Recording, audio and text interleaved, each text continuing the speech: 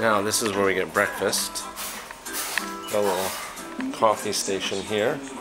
Hi.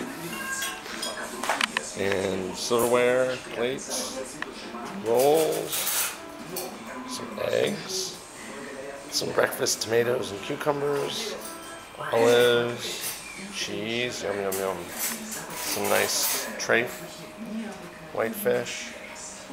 And then here's some of the choices yet. Milk porridge and porridge. That's what milk porridge looks like. And then we have spaghetti and boiled buckwheat. Hot dogs and beef and bread crust. Mm, that looks good, doesn't it?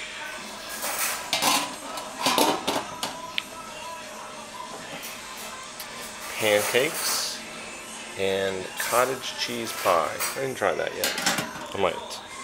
And then we got some dried fruit and some granola, some fruit slices, cottage cheese. this stuff looks interesting. It's called, there's buttermilk. This is called baked milk.